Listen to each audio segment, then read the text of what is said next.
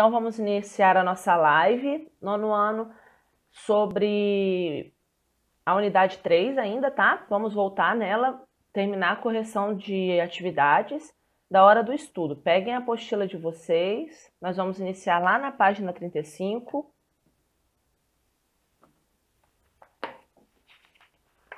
Hoje nós vamos fazer a correção da página 35 até a página 38 até a questão 18, tá? Para também não ficar muito cansativo, ficar muita coisa.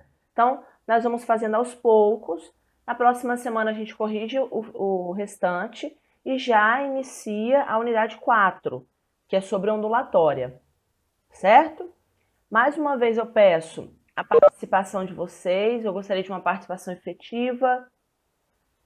Podem estar usando o microfone, quem tiver o microfone, o ideal é que use o microfone e quem tá sem, fala aqui no bate-papo, tento voltar nela aqui para acompanhar a leitura de vocês aqui, tá? Vamos lá então? Eu vou compartilhar aqui a tela com vocês da apostila.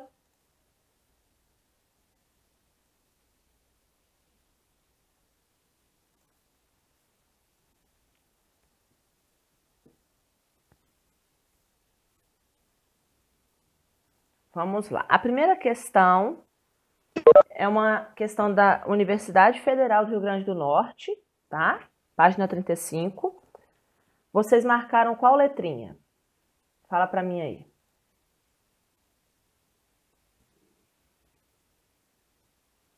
Muito bem. Pode ir falando aqui no bate-papo que eu estou acompanhando. Letra C, todo mundo? Ótimo. Isso aí, correto. Alguma dúvida nessa questão? Foi tranquilo? Então, a primeira questão, letra C. Na regra do octeto, segundo a qual a configuração de oito elétrons no último nível confere a estabilidade dos átomos. Tranquilo. Show, Igor. Gostando de ver, Igor, participando da aula.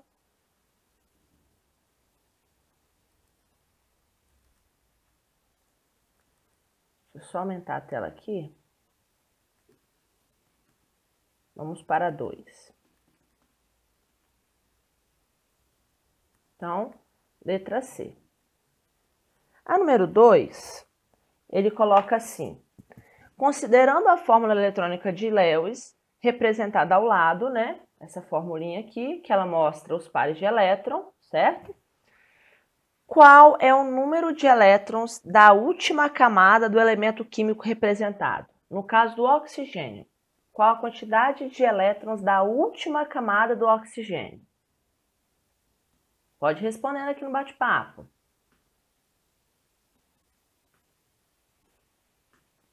Muito bem. Ó, as meninas aqui dando show, hein? Aninha, Duda, Isabelle, Júlia. Seis elétrons. Muito bem. Aqui, né? Só a gente contar. Um, dois, três, quatro, cinco, seis. Ok?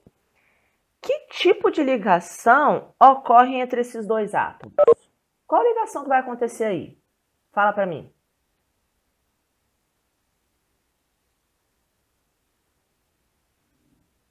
Covalente.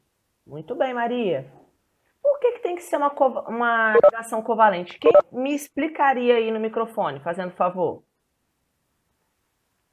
Quero ouvir vocês também, senão eu fico falando sozinha, é ruim. Oi? Professora. Fala, amor. Fala, Mari. Quem vai? Pode falar, Mari. É, então,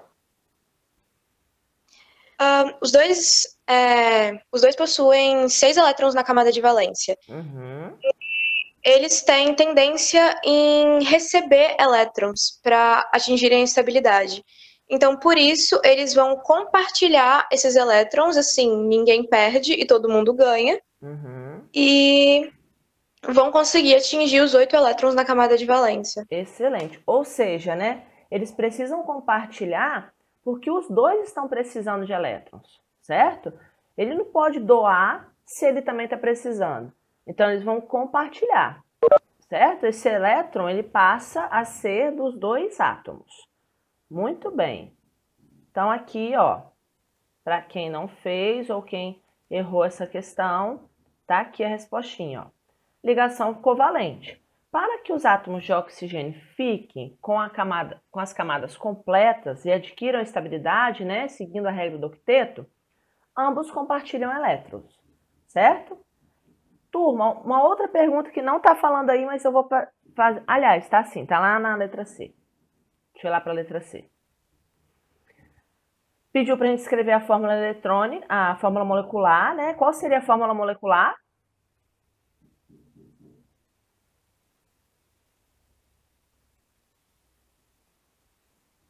O2. Muito bem, Lara. E a fórmula estrutural? Isso aí seria uma ligação simples, ligação dupla, ligação tripla, seria o quê? Isso aí, uma dupla ligação. Show de bola. Então aí teria que estar assim. Certo?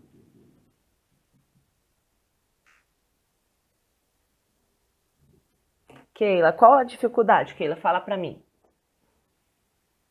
Ó, fórmula eletrônica, é só é, o nome já diz. Fórmula eletrônica, ela mostra os pares de elétrons, certo? Fórmula molecular é a molécula mesmo. O2, CO2, é aquilo que a gente escreve na, nas reações químicas. E a fórmula estrutural, ela mostra as ligações, a estrutura da ligação como é a forma, como que é a estrutura mesmo da molécula. Lembra do H2O? Né? É o oxigênio com duas ligações do hidrogênio.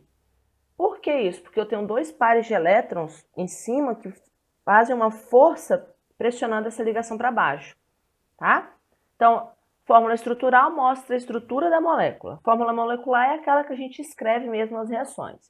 E a eletrônica mostra os pares de elétrons. Certo?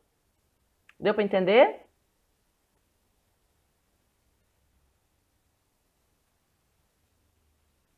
Vamos lá então, vamos seguir a questão 3. A questão 3, ela dá essa tabelinha aqui, certo? Do magnésio e nitrogênio e pergunta: quantos elétrons há na última camada de cada um desses elementos? Quantos elétrons possui na última camada o magnésio? Dois elétrons. E o nitrogênio, 5, né? Tá mostrando aqui na tabelinha para vocês, então, até aí, sem dificuldade nenhuma. Lembrando, toda vez que falarmos de camada de valência, nós estamos falando da última camada. Depois, esses elementos têm tendência em perder ou ganhar elétrons. O magnésio, qual a tendência do magnésio? Fala para mim. Perder certo? Ele tem dois, então é mais fácil ele perder dois do que ganhar seis, certo? E o nitrogênio ganhar. Excelente. Então, ó, o magnésio tem tendência em perder dois elétrons, tá? Para atingir a regra do octeto. E o nitrogênio tendência de ganhar. Assim, ele vai completar oito elétrons na última camada. Então, turma, fala para mim, se eu juntar, eu posso juntar o magnésio com o nitrogênio?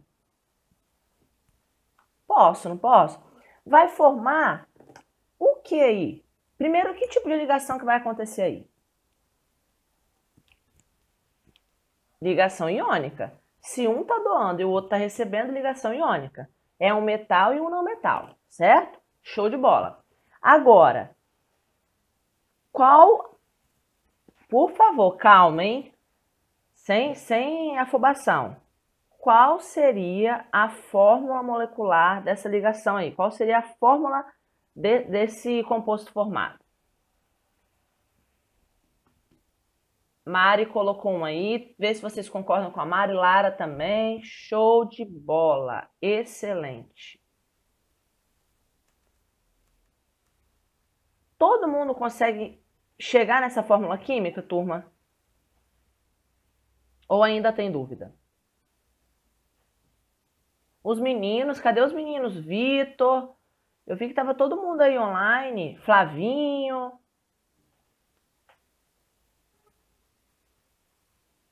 Ju, conseguiu, Ju? Então, beleza. Por quê, né? É só a gente pensar. Olha só.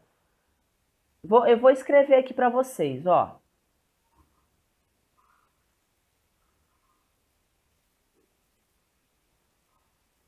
É só a gente lembrar desse detalhe. É MG, certo? Mais 2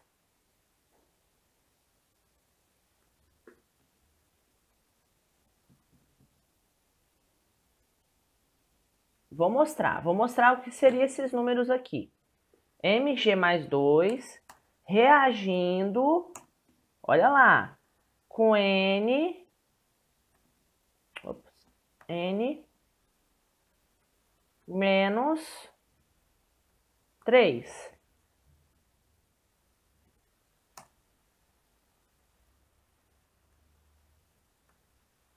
Formando o quê? Lembra, turma, que esse número desce para cá e esse desce para cá?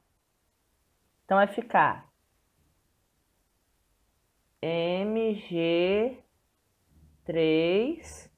N N2. Só que aqui eu não consigo botar o, o númerozinho pequenininho, tá? Vai ficar desse jeito aqui, ó. Aqui que está a reação. Para eu balancear essa reação, eu teria que fazer o que aqui? Vamos lá, vamos tentar balancear essa, essa reação aqui. Peraí que acho que tem dúvida aqui. Só um minutinho, Nicolas, depois eu volto lá. E aí? Fala para mim, meninas, meninos. Tá balanceada essa equação? que, que falta para balancear?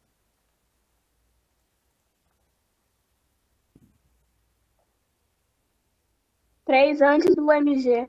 Três antes do MG. Maria que falou? Foi, né? Isso. Opa, peraí.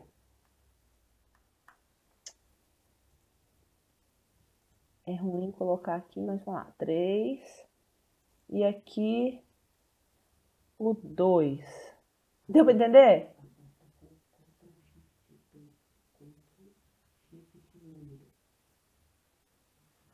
Deu para entender aí, turma?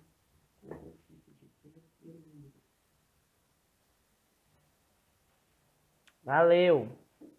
Resolvido.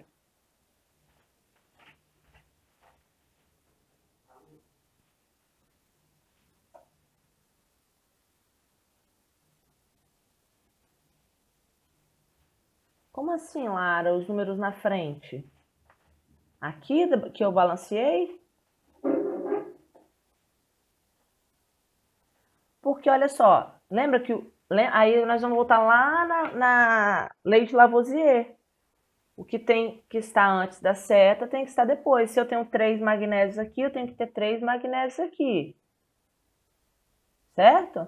Esse sim é o quê? Você entendeu? Entendeu, né? Tá. Uhum.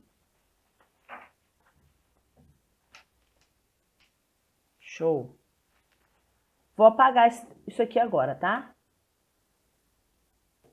Entendeu, Amanda?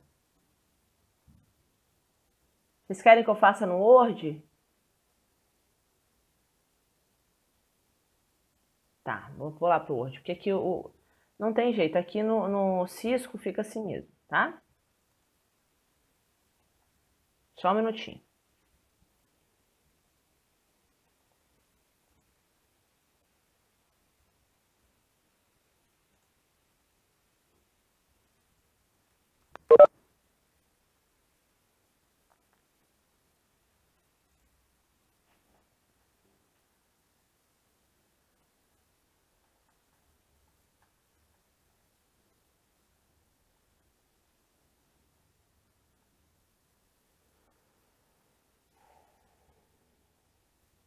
Nicolas, qual qual está sendo sua dúvida que eu não, eu não entendi?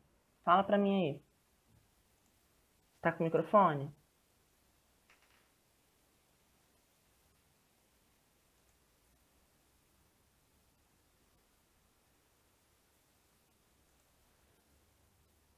Eu não consegui terminar de copiar, professora. Ah, tá bom. Depois eu volto então lá para você copiar. Só um minutinho, tá? Beleza, beleza.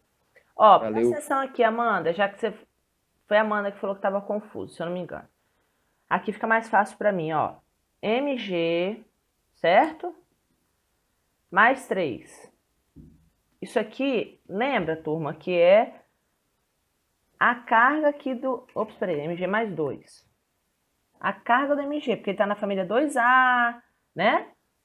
Beleza. Até aqui, sem novidades.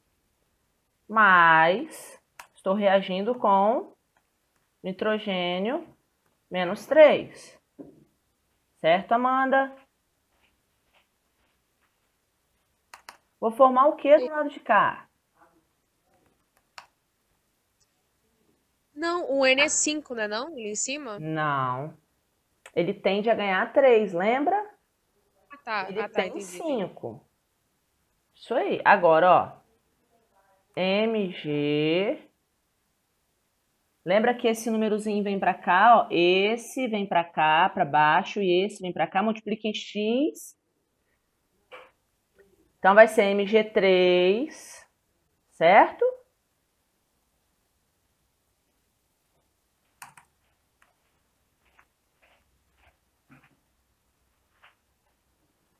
Mais. Ops, peraí. MG3. N. 2. 2. Isso. Aí foi o que a Lara falou, professora, eu não entendi o porquê desse 3 aqui e desse 2 aqui. Como não, senhora Lara? Lei do Lavoisier, lembra? Tudo que tem que estar antes da seta tem que estar igual. Gente, isso aqui vocês têm que pensar que são átomos que eu estou juntando para formar essa molécula. Se aqui eu tenho 3 magnésio, eu tenho que ter 3 aqui reagindo. Se aqui eu tenho 2 nitrogênio, eu tenho que ter 2 reagindo lá de cá. Isso aqui é a equação balanceada. Ah, tá, entendi. Obrigada. Por nada. Entendeu, Lara?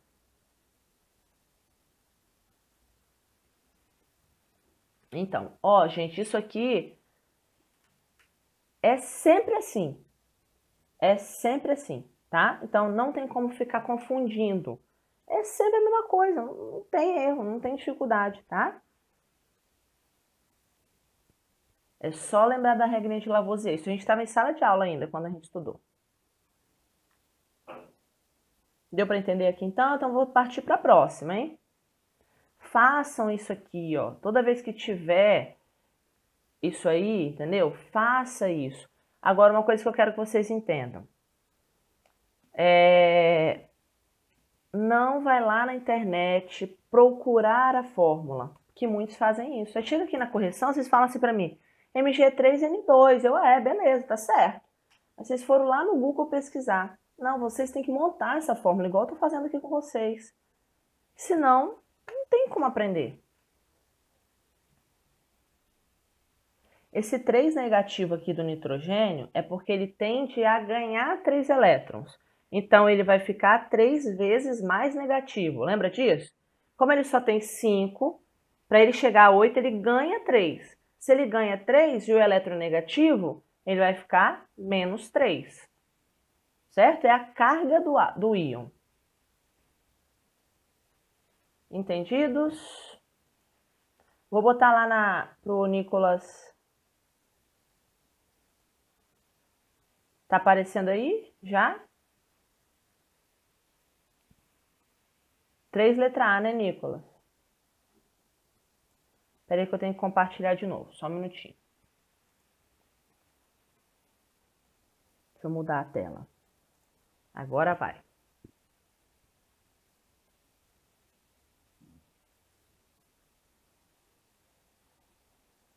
Vamos seguir então, hein?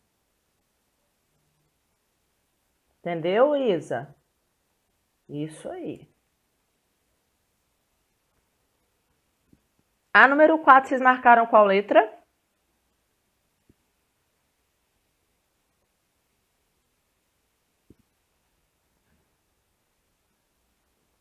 Isso, vamos lá que deu divergência, assim que é bom.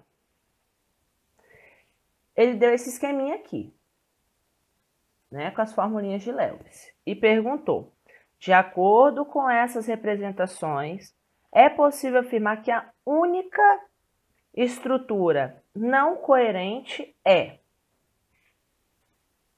letra E. A letra E, por quê, né? Teria que ser o quê? Para cada hidrogênio, quatro carbonos, cada hidrogênio ligado em quatro carbonos, na verdade, essa fórmula deveria ser CH4, tá? Que é a fórmula do metano. Então, é para o carbono está na família 4A, certo? Ele tem quatro elétrons, então ele precisa de quatro hidrogênios ligados a ele. Aí está o contrário, certo? Então seria CH4, para ficar certo. As outras todas. É, quem botou letra B? Teve alguém que botou letra B. Vamos ver aqui. Por que B? CL2. CL está em qual família? Olha para mim. Aqui, ó. Qual família está o CL? Quantos elétrons tem o CL na última camada? 7. Então, CL2, dois CLs compartilhando parzinho de elétron, uma ligaçãozinha covalente, tudo resolvido. Tá, Lara? Entendeu?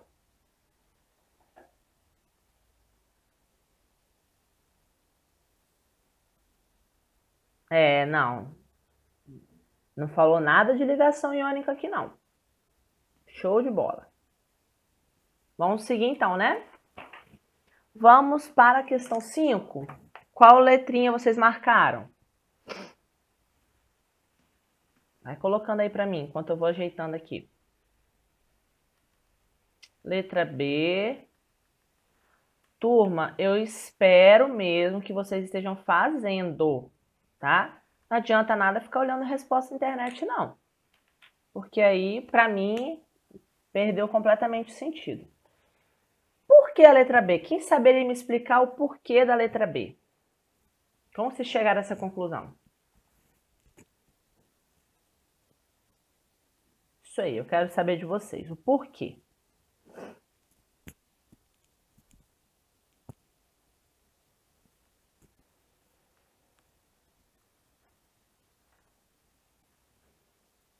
Pode usar o microfone para responder.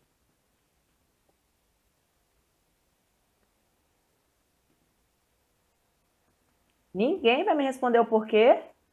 Aí eu vou precisar, aí eu vou acreditar que buscaram a resposta então. Todo mundo respondeu B. E ninguém quer me explicar. Isso aí. Isso aí, Mário, ó. C tá na família 4A, não é isso?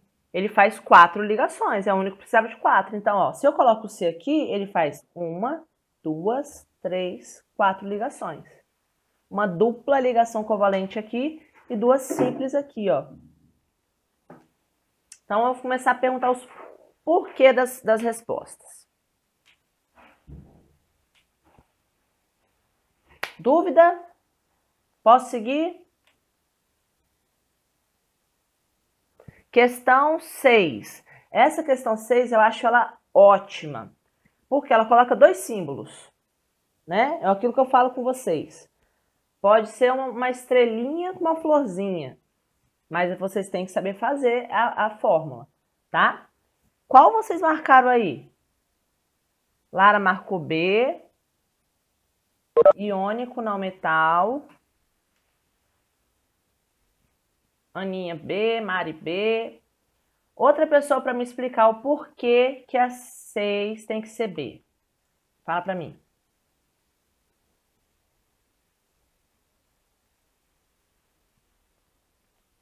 Aqui, ó, o enunciado traz várias informações. Então, vamos lá, Isa. Ele fala assim, que o elemento químico, né, qualquer aqui, ele deu um símbolo, pertence à família dos metais alcalinos. O que isso quer dizer, metais alcalinos? Muito bem, Lara, que ele tem dois elétrons na última camada. Qual seria a carga desse símbolo aí? Desse íon formado por esse símbolo?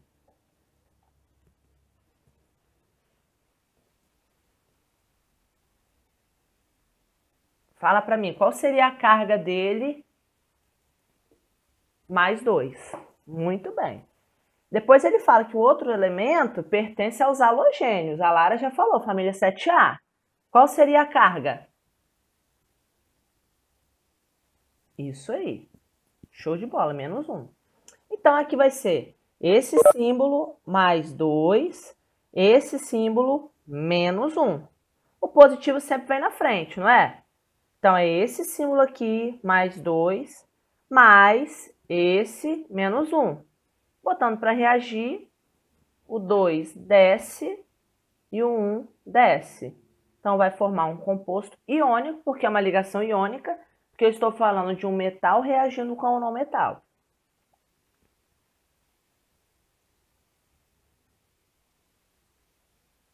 Dúvida nessa? Show de bola. Não precisou, tá vendo? Não precisou ser um elemento químico da tabela periódica. Isso aí ele quer saber se vocês estão realmente entendendo a formação dos íons e a formação das ligações iônicas, tá? Poderia ser um composto molecular? que bom, Lara. Fico muito feliz também. Poderia ser um composto molecular? Fala para mim. Não poderia. Por que não poderia? O que é um composto molecular? Qual ligação que é feita no composto molecular?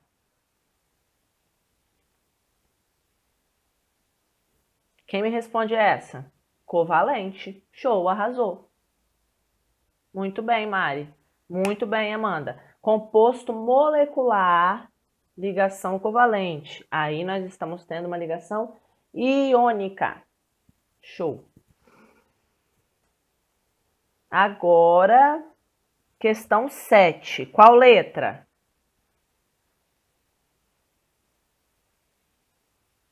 Letra C. Cálcio está em qual família? Cálcio. Fala para mim.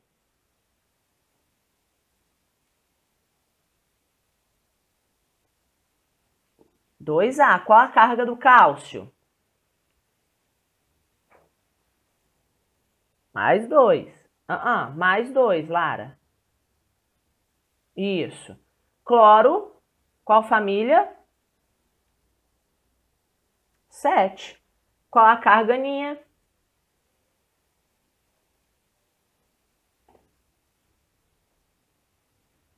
Show, menos um, Lara. Arrasou. Não é menos 7, Amanda. É menos 1. Você, quando você coloca menos 7, você está dizendo que ele está ganhando 7 elétrons. Não confunda isso. Tá? Ó, bota uma coisa. Eu não gosto de fazer essas regras porque vocês ficam decorando. Mas, ó, não passa de 3. A carga não tem como passar de 3. Tá? Ou é mais 1, mais 2, mais 3, ou menos 1, menos 2, menos 3. Tá? Você não confundir mais, tá, Amanda? Isso. Agora, questão 8. Questão da PUC. Verdadeiro ou falso? Lara, Laisa botou V, FFV, V. Pode botando aí para mim. Vamos conferir um por um. Vitor, muito bem. É exatamente isso. V, F, F, V. As duas falsas vocês acertaram. As verdadeiras que eu percebi que vocês erraram. Vamos, lá, ver o que, onde está o erro.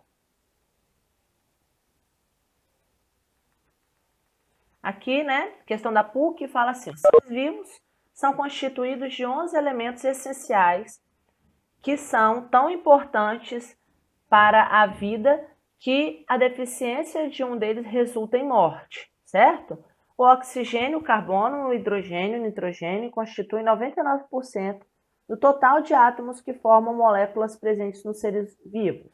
Sódio, potássio, cálcio, magnésio, fósforo, enxofre e cloro constituem 0,99%. Isso, Lara. Sempre que for é, composto molecular, a ligação é covalente. Isso aí.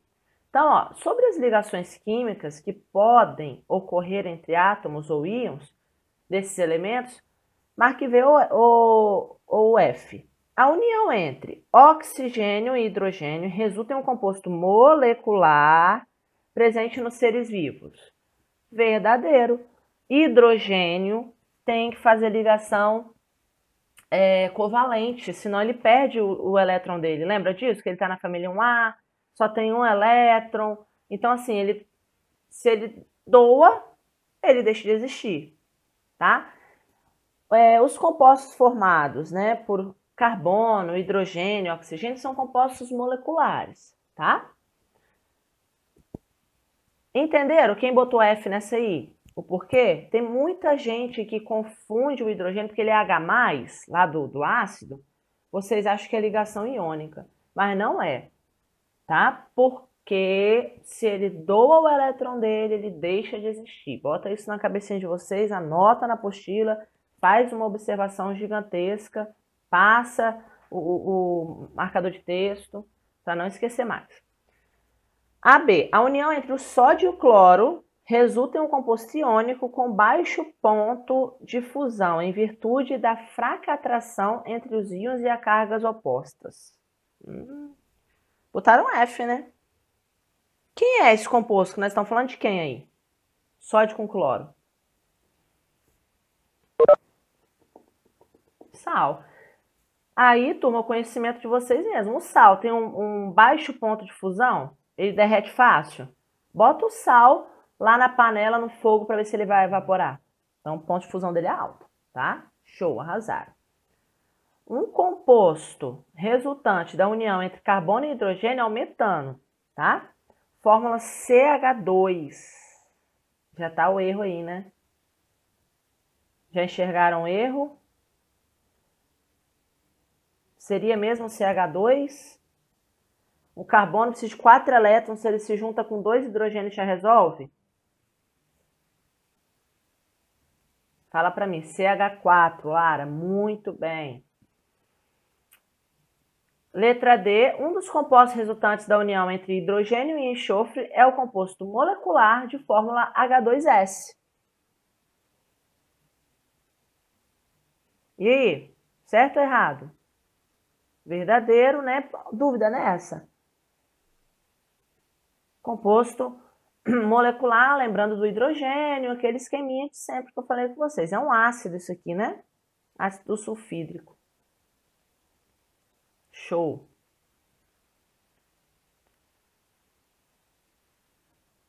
Questão 9 fala do grafeno, né? Ele fala assim: de acordo com as características e propriedades apresentadas pelo grafeno, é correto afirmar que ele é uma forma alotrópica de um, de um elemento metálico?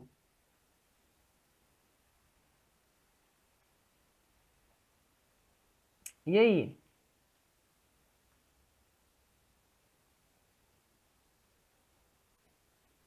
Isso aí. Muito bem, Eduarda. Não, né? Porque ele é formado só por carbono. E carbono é um ametal. Então, não posso considerar o grafeno um metal. Já ouviram falar do grafeno? É um composto fantástico. Esses dias passou até uma reportagem sobre ele, muito interessante. Estará muito presente nas nossas vidas daqui para frente. Envolve muita tecnologia.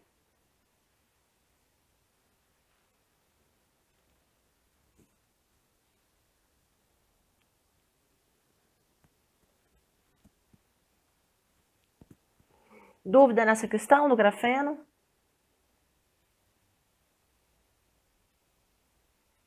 Seguindo então, né? Questão 10, qual letra vocês marcaram?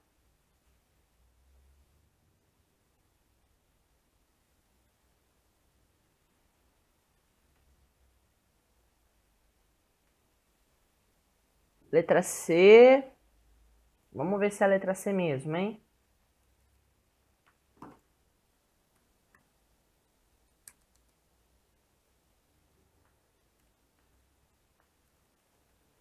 Ó, ele, o que, que ele faz aqui? Ele me coloca um circuito elétrico, tá? Mostrando a, a condutividade elétrica dos, dos materiais. Aí ele fala assim, ele me dá três compostos, certo? O primeiro é água, o segundo, água e açúcar, o terceiro, água e sal de cozinha. Aí ele fala: entre as alternativas a seguir, qual descreve melhor a condição de, da lâmpada? Ou seja, qual deles, né, vai acender a lâmpada aí? Vamos ver o que, que vai acontecer. A letra A fala que se eu colocar o 1 e o 2, a lâmpada vai permanecer apagada.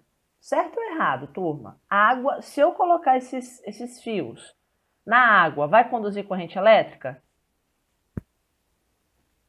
Fala vocês. Não, certo? Se eu colocar no açúcar, água e açúcar, lembrando que o açúcar, né, lembra da sacarose, da glicose, é um composto molecular. E aí? Ioniza, dissocia? Também não, não conduz também, certo? Vocês marcaram a letra C continua apagada em 1, certo? E vocês colocaram que em 2 e 3 acende. Não, açúcar não acende. Acende no sal. Sim, água e sal de cozinha acende porque, lembra, vai liberar os íons Na+, Cl-, então vai ter condução de corrente elétrica. Então é letra A mesmo. Maria acertou. Parabéns, Mari.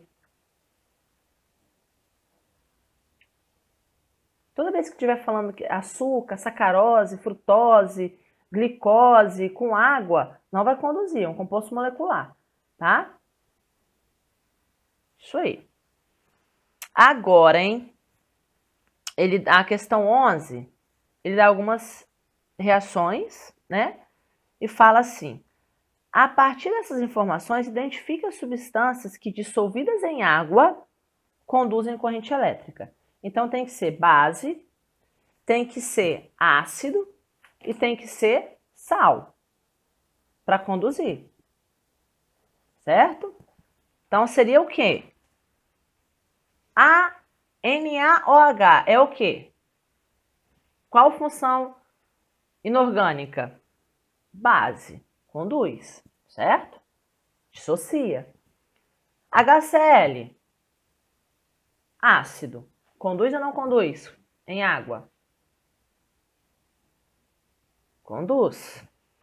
H12 ou C12H22O11. E aí? Conduz ou não conduz? Forma íons? Isso aí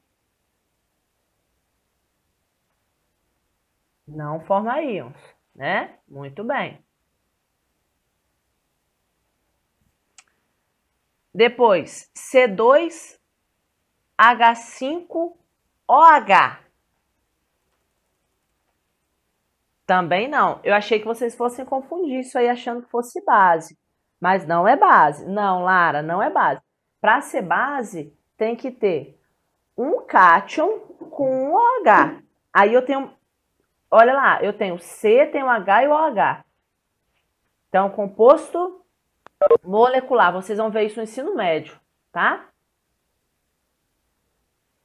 E KCl. Que composto é esse? KCl.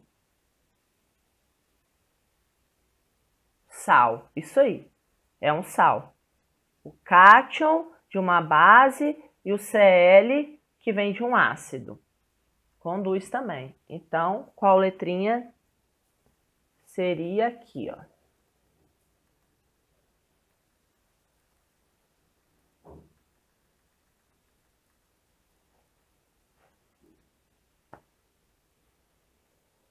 Show de bola.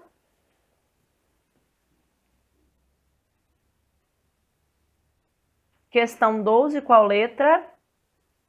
Vamos ver agora, depois de tudo que eu falei, refaz. Isso aí. Letra D. Uma sacarose, né? Toma um composto molecular, um açúcar. Letra D. Show. Questão 13.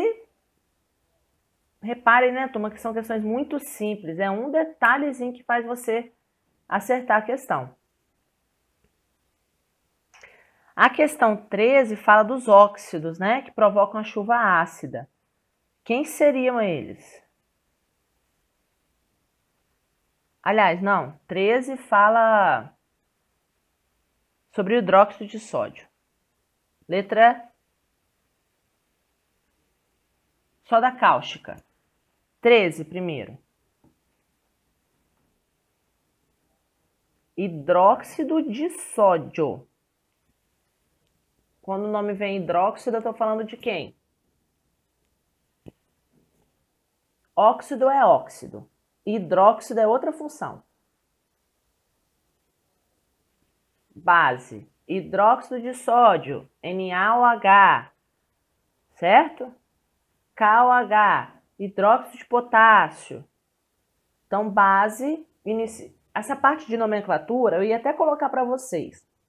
Só como não vem na apostila, então, não, não vou confundir mais eles. Vocês vão ver muito isso no ensino médio, tá? Dar nomes a esses compostos inorgânicos, tá? Ó, ácido sempre vai iniciar com ácido, então ácido alguma coisa. Ácido sulfúrico, ácido sulfídrico, ácido sulfuroso, é... base sempre com hidróxido. Hidróxido de magnésio, hidróxido de sódio, tá? E óxido inicia com óxido. O sal que vai depender do nome da base e do ácido, por isso que o mais complicadinho é sal, tá? Então aí, e a base, turma, seria o quê? Então não é a letra C. Qual seria a letra da 13?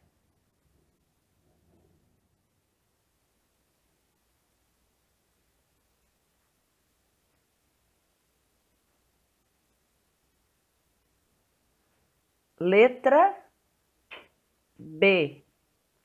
Letra B é um composto iônico. Não é a letra D, porque as bases dissociam e não ionizam. Coloca lá essa observação para quem colocou a letra D, que as bases dissociam e não ionizam. Quem ioniza são os ácidos.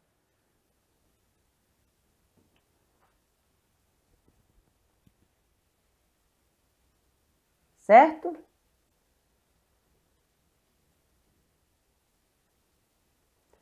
Questão 14. Letra C, chuva ácida, né? Os óxidos que provocam a chuva ácida, CO2, SO3, por isso que a chuva, né, turma, ela já é naturalmente ácida. Na nossa expiração, nós eliminamos CO2, tá? Só que a intensidade da chuva ácida vai aumentar né, com a produção desses óxidos. Em cidades que a poluição atmosférica é muito intensa, a chuva vai se tornando cada vez mais ácida, o pH cada vez mais baixo. Certo? Questão 15, qual letra?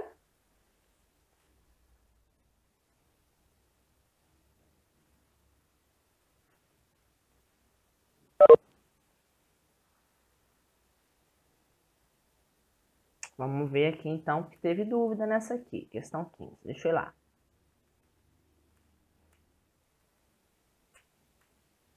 Opa, sem querer eu mostrei, né? Ó, em grandes cidades, devido às impurezas em combustíveis, ocorre a formação de SO2, certo? E reage com o oxigênio do ar, formando o trióxido de enxofre, o SO3. Lembra disso a gente fez até uma, uma questãozinha lá no caderno de atividade mostrando isso? Que é um dos responsáveis pela chuva ácida. A fórmula do produto da reação do trióxido de enxofre, SO3 mais água, vai formar o quê? SO3 mais H2O. E aí?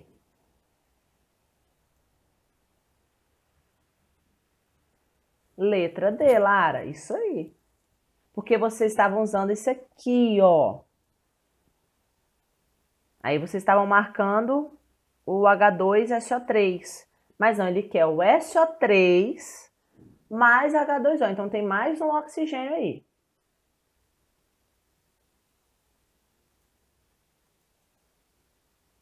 Resolveu aí, Carol?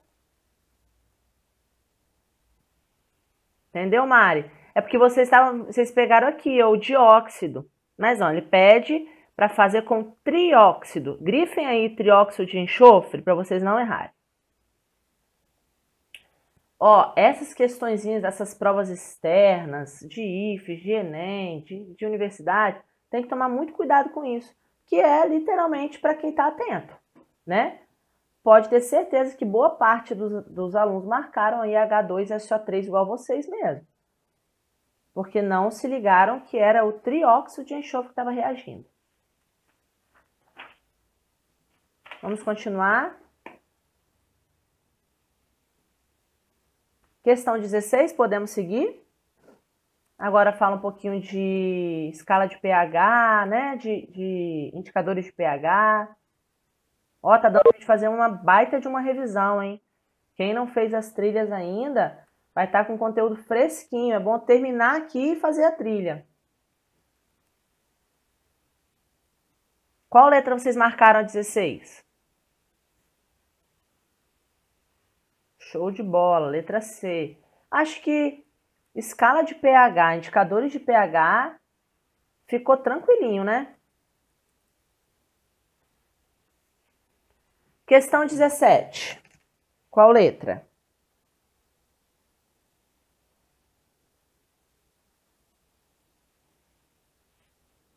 D, B. Vamos fazer juntos, que teve, teve divergência.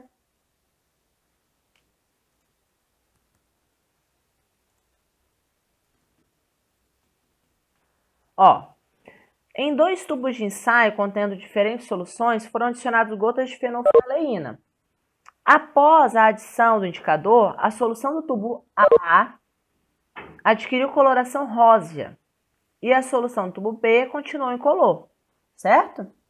Então, a fenolftaleína, ele, ele aí teria que ir lá, né, tomar na escalinha de pH para conferir, tá? Então, A ficou que cor? Rósea. A fenolftaleína, quando fica rosa, seria básica, certo? Então, Lara, é necessário saber essas cores de indicador de pH, tá? Geralmente, as questões trazem, tá? Geralmente as questões trazem. Mas, se não trouxer, é bom que vocês saibam do azul de bromotimol, fenolftaleína, tá? Mas geralmente a própria questão traz. Aqui eles não colocaram porque a apostila de vocês tem falando, tá? Nas páginas anteriores, essa tabelinha, tá? Então tem que ir lá na tabelinha, consultar, aí vocês vão ver que é a letra B mesmo. Tem sim, tem uma tabelinha na apostila. Muito bem.